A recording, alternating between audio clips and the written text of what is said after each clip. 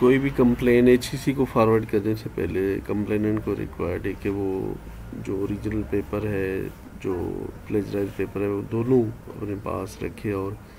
Proper एक तरह से कंप्लेन बनाए कि कहाँ से क्या चीज़ कापी की गई है। और साथ में अपनी जो आइडेंटिटी है कि आइडेंटिफिकेशन कंप्लीट जब तक नहीं होगी, उस कंप्लेनेंट की name designation organisation address email telephone number वगैरह नहीं होंगे तो वो कंप्लेंट एच के पास प्रोसेस नहीं हो सकती और इवन अगर वो यूनिवर्सिटी को कंप्लेंट फॉरवर्ड करते हैं तो यूनिवर्सिटी भी इस तरह की डिटेल्स ना होने की वजह से उसको इंटरटेन नहीं कर सकती।